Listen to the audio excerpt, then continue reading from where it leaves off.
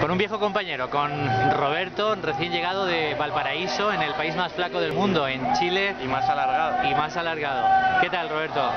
Bueno, muy bien, muy contento de estar aquí de vuelta en la terreta y nada, la experiencia allí muy buena en lo que se refiere a la experiencia personal.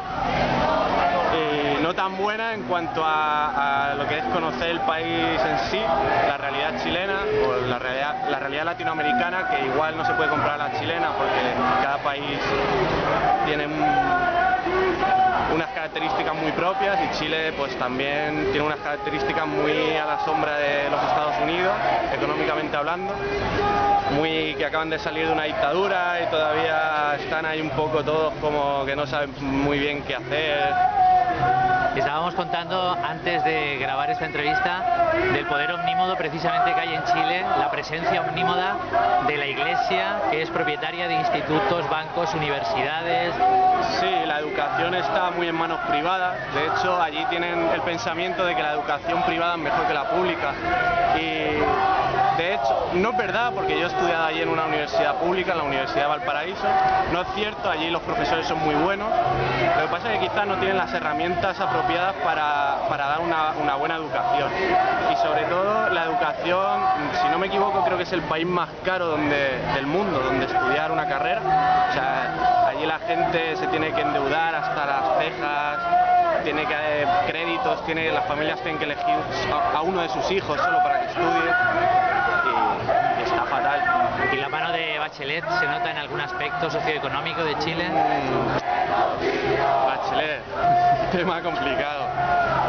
No hay demasiada ilusión en Chile con Bachelet. Yo creía que la gente iba a estar más ilusionada por el cambio y tal. Sí que parece ser que acaba de entrar también y sí que dice que va a reformar esto y lo otro, pero la gente tampoco está muy ilusionada ni convencida porque ya estuvo la Bachelet y tampoco pudo hacer nada, o no quiso o no pudo.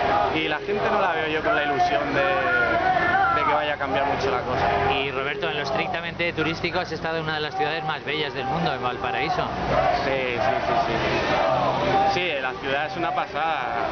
Quitándole los terremotos, los, las alertas de tsunami, el incendio que hubo y todo es una auténtica pasada. Es, dentro de Chile es donde más te puedes sentir en Latinoamérica, porque si vas a Santiago, por ejemplo, es una ciudad como que intenta ser muy europea, que no lo consiguen porque tienen todas las carencias de, que puede tener cualquier país latinoamericano en sanidad, en educación, en derechos laborales. Todas esas carencias están ahí, pero es como que intentan aparentar una falsa, un falso avance en tecnología, en servicios. Yo me lo paso súper bien ahí. ¿Y ahora que en la depre post viaje, en la vuelta a la terreta? Buah, la depre... Periodo de adaptación, ¿no? La depre un poco chunga, porque estar allí a mi bola, volver con los padres, todo el rollo... Claro, ahora tengo, he acabado la carrera, tengo que buscar curro, es jodido, complicado, pero bueno. Bueno, Roberto, un placer. Igualmente.